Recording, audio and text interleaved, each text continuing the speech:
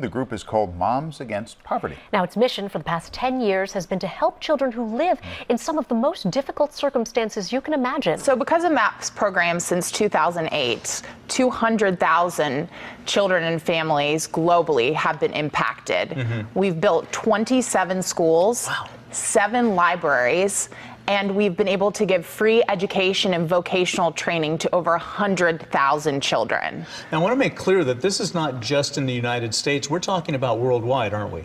Absolutely. We're in 14 countries currently working, as you can see there on the screen. Yeah. Uh, Senegal, Africa, Cambodia, and the list goes on and on.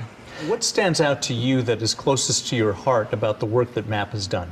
MAP has different projects, I mean, different projects that we, programs that we support. Yeah. The program that is closest to my heart right now is education, because we do believe the education is the way, of, way out of the poverty. Sure. uh, for a lot of countries that we deal So with. So with them having it here is like an emergency pack. They can come knock on the door, ask for, you know, shampoo, conditioner, toothbrushes, toothpaste, um, sanitary napkins, anything that people need.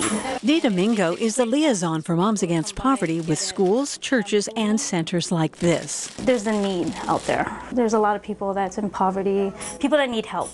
So they provided the deep freeze for us. We showed you last year that MAP bought a freezer and filled it with high quality meats for the Oakland Frick Academy families.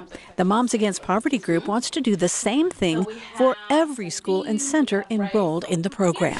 The group Moms Against Poverty sorted through bags of donated goods today. The items will go to the Cesar Chavez Academy in East Palo Alto, where 90% of the 800 students there live below the poverty line.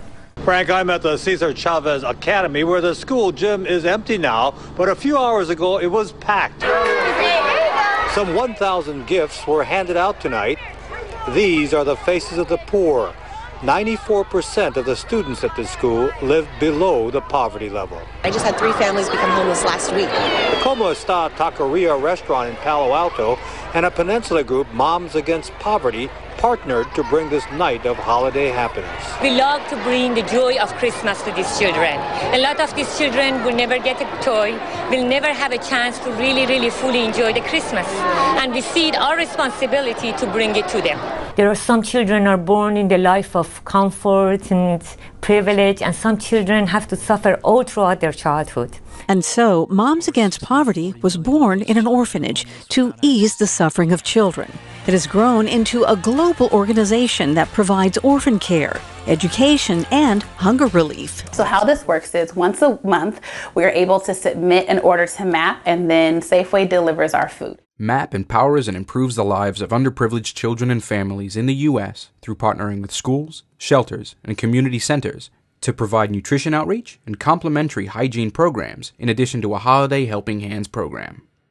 On a regular basis, we deliver organic protein and vegetables to partner schools and centers, which distribute them to children and their families at their discretion with regularity. Our hygiene programs link up with schools and centers to provide accessible and complementary laundry facilities and essential hygiene products to struggling families. How did the organization get started? Uh, the story of MAP Mhm. starts with an 11 years old girl that I met when I was adopting my third child in an orphanage far away. Mm-hmm. She repeatedly asked me to adopt her as well, and I could not.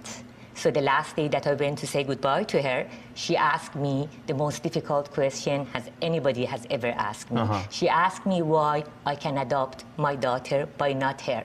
Why Mm. not me? She asked me. Sure.